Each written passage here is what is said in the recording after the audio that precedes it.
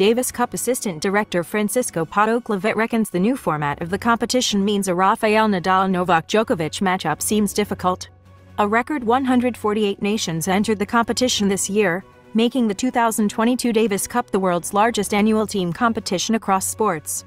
This year's group stage 16 teams in four groups of four will be played across four different cities, Bologna, Glasgow, Hamburg, and Valencia on September 13th to 18th.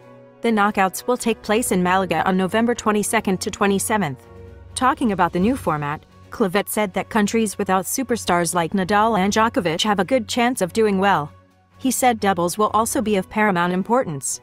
There are very good players in all countries, although not all of them have superstars like Spain, Nadal or Serbia, Djokovic, but it is promoted through the format that this upper middle class achieves results, Clavet told Marca. And you have to add double, which is of vital importance. If you have a good double, you have won a lot. Thus, it is nice. It creates uncertainty and the same ones do not always win. It is good for the sport. With Spain and Serbia drawn in Group B in Valencia, Clavet said that an Nadal Djokovic meeting might not materialize in the final. That's because the two teams are drawn with Canada and South Korea, who have good players, especially the former. We would all love to have an Nadal Djokovic, but it's frankly difficult, Clavet said.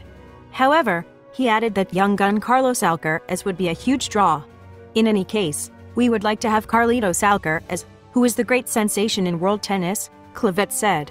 How have Rafael Nadal and Novak Djokovic fared at the Davis Cup?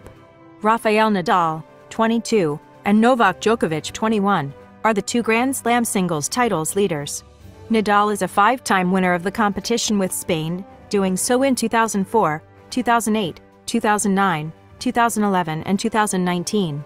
He has a stellar 37-5 record in the Davis Cup, including winning 29 of his 30 singles matches. Djokovic, meanwhile, won his lone Davis Cup with Serbia in 2010.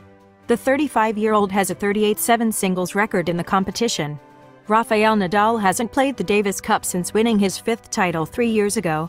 Meanwhile, Djokovic reached the semi-finals of the competition last year.